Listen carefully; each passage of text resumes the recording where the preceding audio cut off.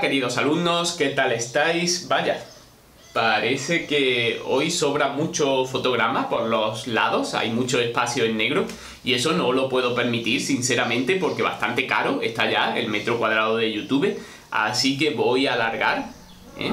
esto así en horizontal, muy bien, y así en vertical, bueno, ya está.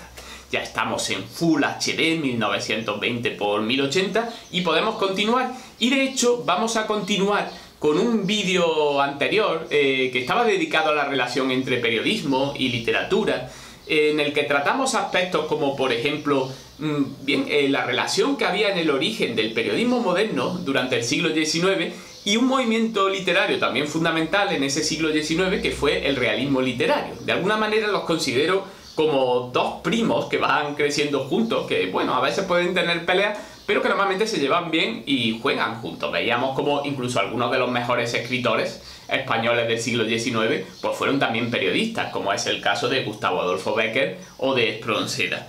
También tratábamos aquellas obras que por su calidad literaria eh, habían dado el salto del periodismo, que era donde habían nacido, hasta la literatura incluso hasta el canon literario, es decir, esa selección de obras de historia de la literatura pues que se suelen transmitir culturalmente, por ejemplo, en, las clases de, lengua y literatura precisamente.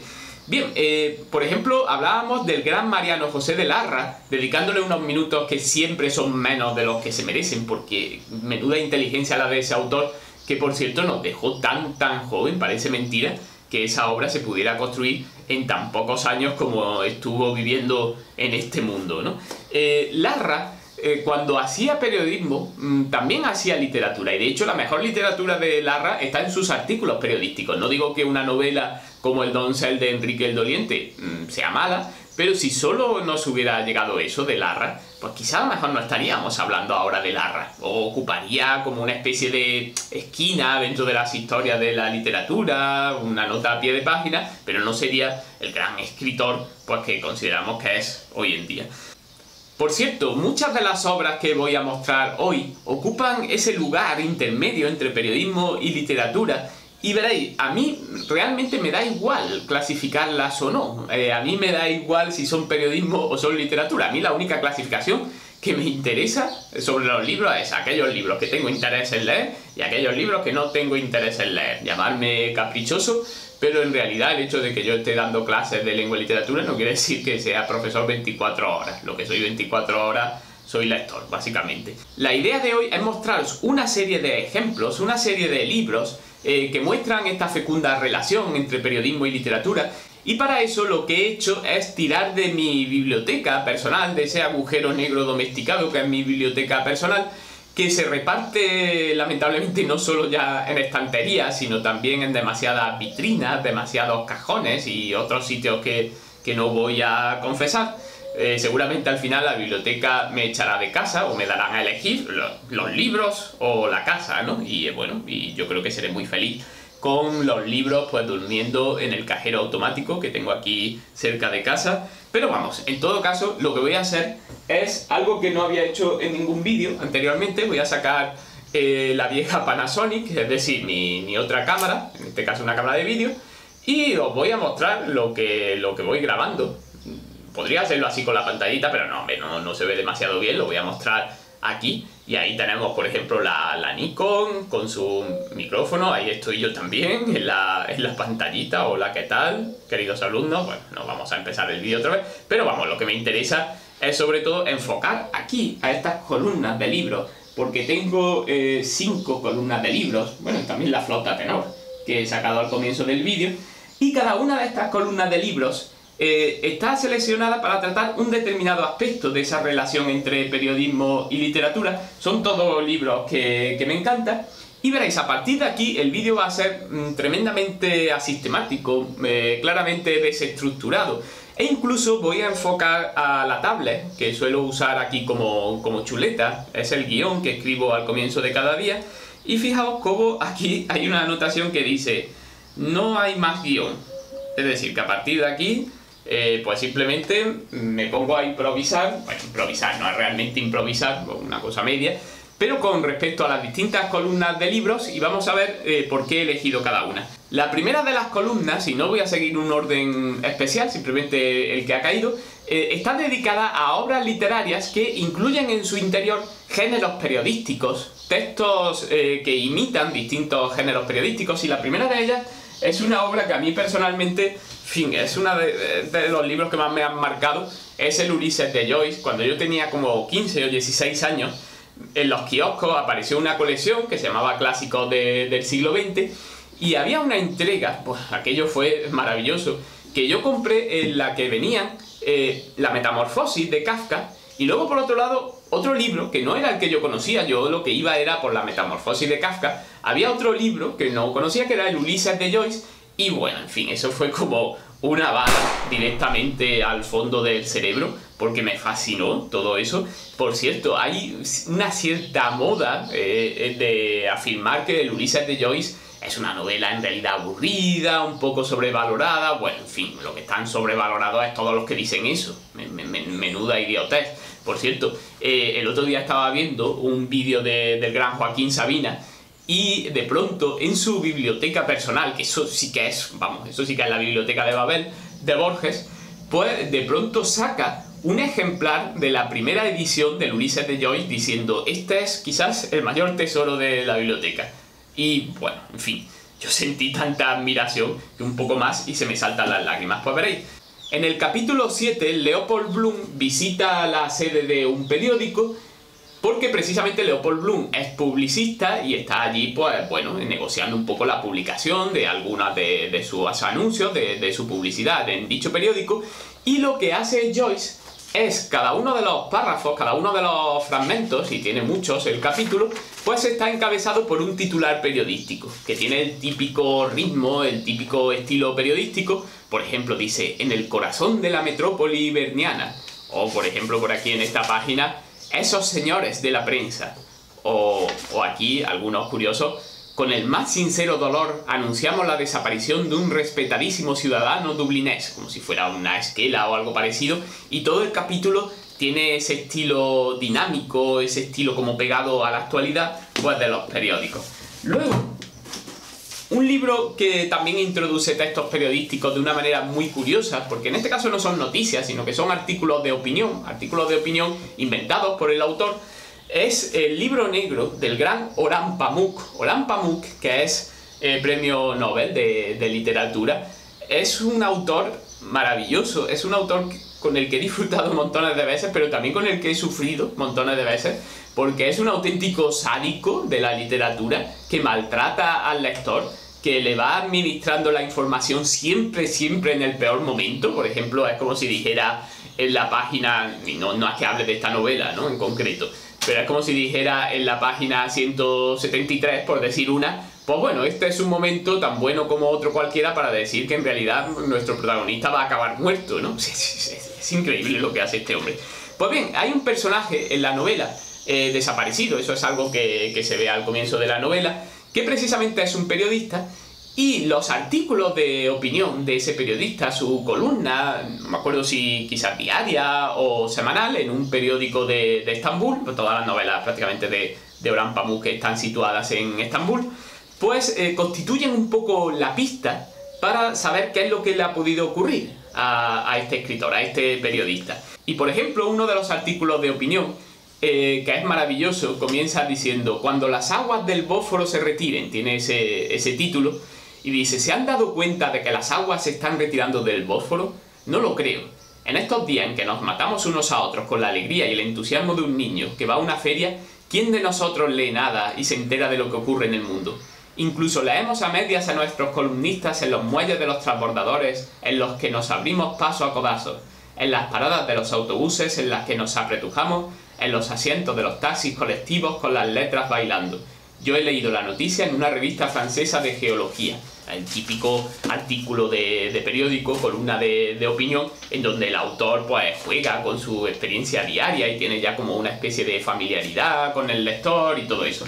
Luego, hay una serie de autores que son periodistas por, por naturaleza, Aunque, por ejemplo, en el caso de, uno de los, autores, en este caso autora, pues reniega de esa condición de periodista, pero bueno, yo creo que tiene mucho de periodista.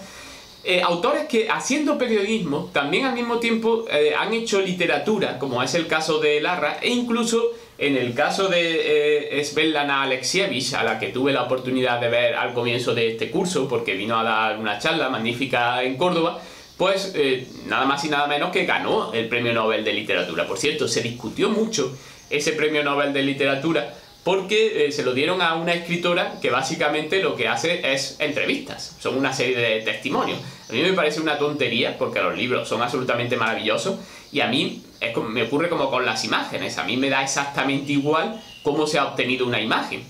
a mí no me decepciona una imagen porque me digan, no, es que mira, en realidad es una foto, se ha usado el ordenador. Y eso me da exactamente igual. Los libros de Svetlana Alexievich son maravillosos y a mí me da igual que aparte de la pluma o aparte del teclado, pues usara una grabadora, que más me da. Pero bueno, voy a empezar primero por otro autor, que es el gran Ryszard Kapuscinski, que fue un periodista polaco que eh, tiene muchos libros que son reportajes, amplios reportajes o amplias crónicas que él realiza a raíz de sus viajes por todo el mundo y bueno, entre los libros que tengo en la estantería, pues por ejemplo aquí está El Imperio, que, va tratando sobre los últimos años de la, de la Unión Soviética. O por ejemplo, aquí está El Emperador, que es un libro sobre Etiopía y sobre todo sobre el emperador Haile Selassie y su trágico destino, que es un libro absolutamente alucinante que se lee eso, ¿no? Con el interés de, un documental, de, la, de, una crónica periodística, pero que al mismo tiempo tiene un estilo literario soberbio. Y luego, los libros de Svetlana Alexievich, aquí están algunos de ellos, por ejemplo, La guerra no tiene rostro de mujer, que es un libro en el que recoge testimonios, ¿eh? va entrevistando a mujeres que participaron en el ejército soviético, no solo ya en el clásico papel de, enfermeras o médicas, sino también como, como soldados, en la aviación, como francotiradoras, bueno, es, un libro tremendo.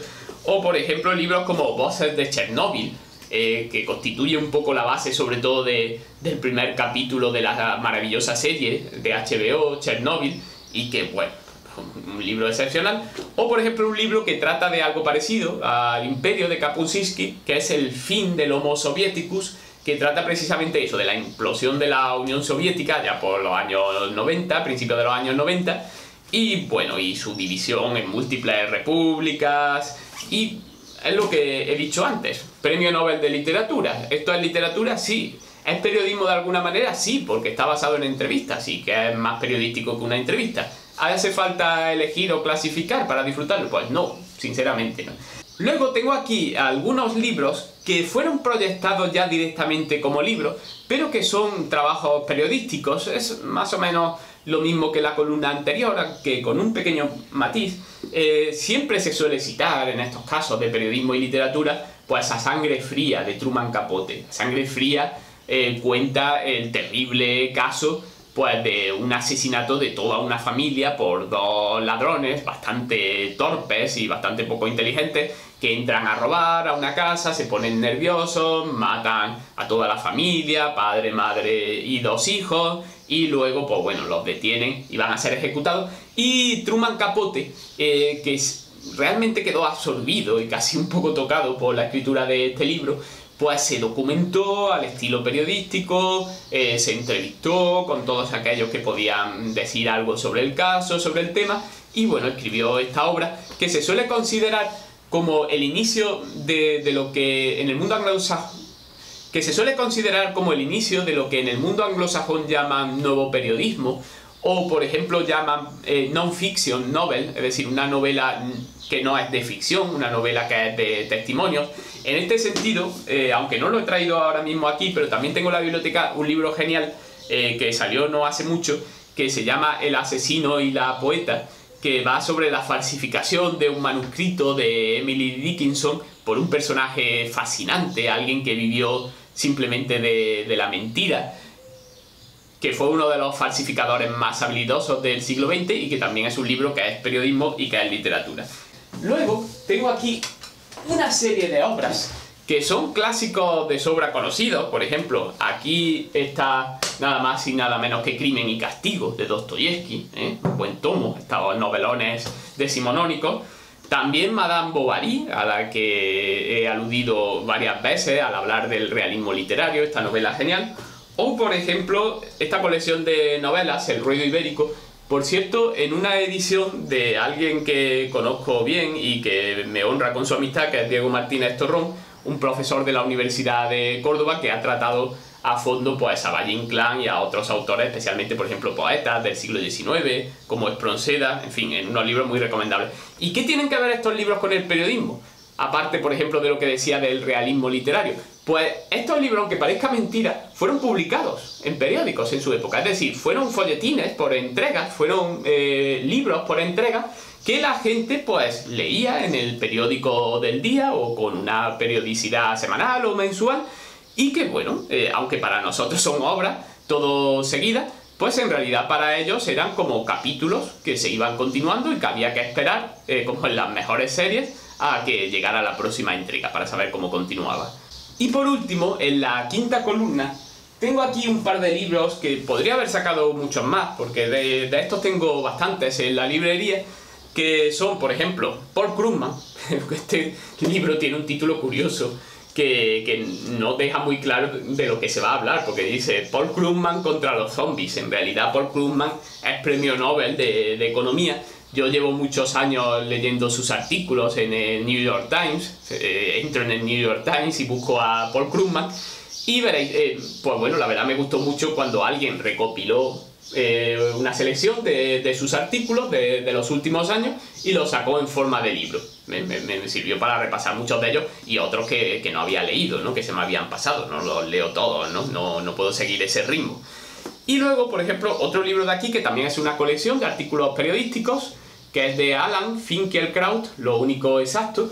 Y tengo muchos más y con eso me refiero a libros que son colecciones de artículos periodísticos pero que al fin y al cabo se pueden considerar simplemente eh, colecciones de ensayos, porque hoy en día el mejor medio para el ensayo es precisamente el periódico, es el artículo de, de opinión o la tribuna de opinión, más o menos, más o menos larga, y veréis, el ensayo siempre ha tenido una posición complicada dentro de la clasificación de los géneros literarios, pero yo lo defiendo como género literario, ya que la buena escritura no tiene por qué estar siempre en un poema o no tiene por qué estar siempre en una novela, sino que se puede escribir con magnífico estilo pues un ensayo, un libro de divulgación científica o cualquier otro libro que trate al mismo tiempo un tema técnico y lo haga pues con, con estilo, con buen gusto. En fin, creo que no hay que ponerle una frontera demasiado definida como si fuera una muralla a la ciudad de la literatura. Y bien, con esto acabo este vídeo un poco peculiar, un poco caótico, pero que si ha servido por lo menos por un lado, para mostraros que la relación entre periodismo y literatura es muy variada, y por otro lado, para daros ciertos títulos y obras que a lo mejor os animan a leer, pues yo me doy por contento. No tengo nada más que añadir en este caso, me pongo una vez más las gafas de Tube Life y os digo hasta la próxima.